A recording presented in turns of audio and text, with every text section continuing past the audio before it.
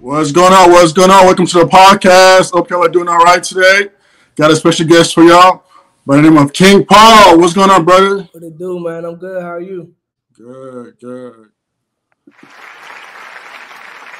Uh, before we start, I'm gonna play a clip. Eh? What? What is this? You only got the shape up. That is a fake. They only cut the sides. Finish at the barber shop and get my money back. Things African parents say when they're mad. Fam, hold your lips. Get out of my sight. If I count to three and you're still here, get out of my sight. Oh my gosh, you're so annoying. You're talking back to me. Come here. I'm sorry, I'm sorry. Shut up your mouth. Oh my god. What happened? What's wrong? I dropped my spoon. Really, nigga? Why are you just looking at me? Pick it up. Here. Stupid boy. That was just on the. Okay.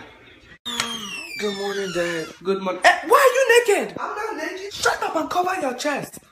Go and put on a shirt. But it's hot and I Fam, just... hold your lips. Okay. Idiot.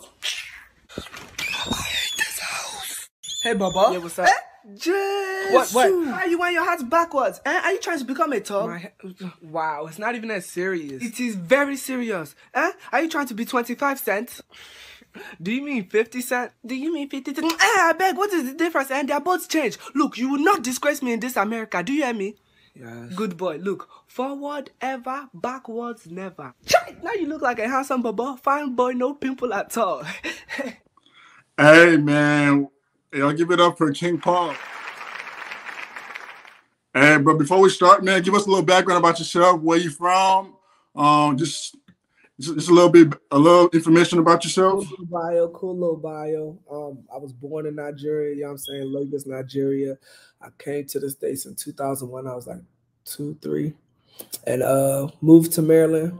And I just been in Maryland ever since. I just moved to Atlanta literally like four days ago. So I'm in Atlanta, Wow. you know, trying to chase my dreams. You know what I'm saying? I've been making videos for a minute since like October 2013. Started off with Vine, transitioned to YouTube, Twitter, Instagram when they all started coming out with videos, and I've just been doing that ever since. But I feel like it's time for me to like level up once more and really just start to be on the big screen, be on TV, be in films. So that's why I moved out here for more acting opportunities, I'm trying to go crazy, man. I mean, me personally, you know, I just want to say, like, I I've been uh, heard about you by seven, eight years ago when you was really doing your thing on Twitter, man, and you know, like you know, me being an African man, we could definitely relate to the, the some of the skit that you have done. You know, we we definitely know an uncle and auntie that acts like that. You know, Yeah. so definitely, I'm I'm a big fan. You know, thank you for being here for sure, now. Appreciate You know, and then um, so before we keep going, I'm gonna I'm gonna post this picture. I just want you to like let me know what what was going on when you when you did this clip, uh, this skit right here, bro. Bro, the crazy thing is there's an older picture when I had like the wire joints, and um basically some dude had just paid me to promote his joint, and I just took a picture of the uh I was I was working at like a mall stand at the time, so I couldn't really like make a skit or whatever, but he wanted to post it that day, and I'm like I'm at work. He was like, bruh, just do a funny face or something. So I'm like, all right, cool. So I took a picture with like the uh, headphones with the wire, and I had smoke coming out on Snapchat. I just put it on Snap, and then I guess someone started and it didn't started going crazy till literally like two years ago but the picture was taken in like 2016 2015 So then- Wow. That joint went viral. So then i basically you know the airpods are out now. So i did that joint. You know what i'm saying? Like i basically came up with like an updated version of it. And that joint started going viral now. And now this is more known than that like original joint with the wire. So Now go back to the, you know, you doing the skit. I mean, be, like before you even start, like what made you start doing like comedy skits and stuff? Like what what was the startup point for you, man? Um, when Vine first came out, of course, all of us were on it, but I was just like everybody else. Honestly, I was really just a viewer. But I was always in the class clown, so like my best friend at the time, she would just tell me like, "Yo, you need to make videos. You need to make videos. Da, da, da. Like you could do this. Like you're funny. Just record yourself." And I'm like, "Bro, I'm not. Wow. I'm not going to blow up." You know what I'm saying? I'm in Maryland. Don't nobody know me, bro. After she just kept saying it, kept saying it, kept saying, it, I finally just took into it and I did it one day. Of course, it didn't blow up, but I, for some reason, I kind of just like liked it. I didn't. I don't even think I, it got likes enough. I was just like this is just something to do. Like it's cool. Like I am funny. You know what I'm saying? So I kept doing it, kept doing it. Then one day, one of my joints just blew up on Twitter. Cause you know, back in the day when you post a Vine, it would automatically post to Twitter as well. So one of my joints, like they did, like, it did like a thousand likes, bro. Back then, bro, that was viral, bro. oh wow. my joint got a thousand likes in like 2014, 2015. I'm just like, what? Like, I'm about my followers go, going up. I had like 200 followers overnight. I'm like, bet. So after that, kept doing it, kept doing it, and my vines would go from like 10 likes to like maybe like 100 likes now because the previous viral joint kept doing it. Another joint went viral, and when that joint went viral, I got like 20k, and it's just wow. up ever since.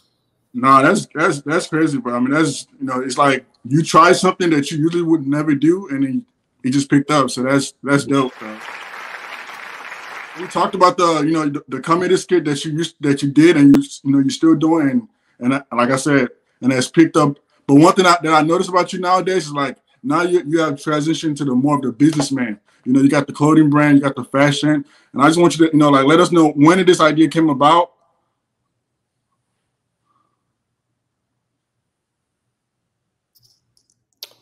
Looking sweet, man. Um, honestly, it all started at the same time. Like I, I, I call myself like a jack of all uh, all trades. I started the clothing. It's it's kind of like the same time with the videos, honestly, because I started seeing people do like the merch thing. So I'm like, let me hop on this now. So once I started getting some buzz on Vine, I was selling clothes with some friends from school.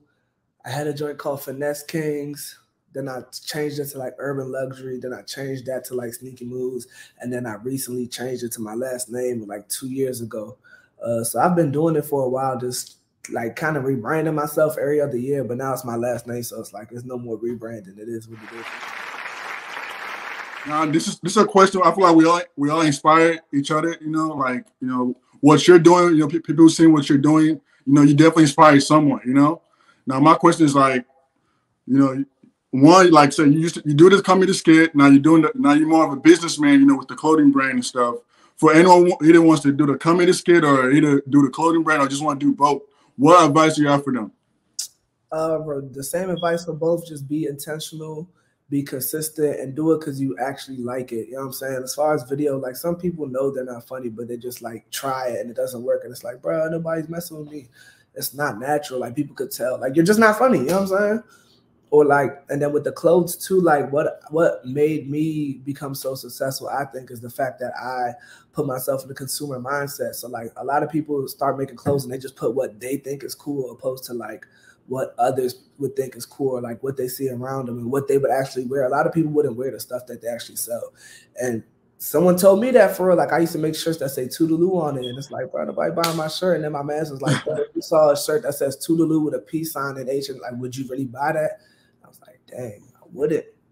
So then Change just started making like designs and uh I think my first joint was my last name, but it was like kind of sideways, but it looked I put like the accent mark on the E, so it kind of looked foreign, and people were like, Oh, that's hard. Like, and it was just three letters. They're like, that's hard. I'm like, for real?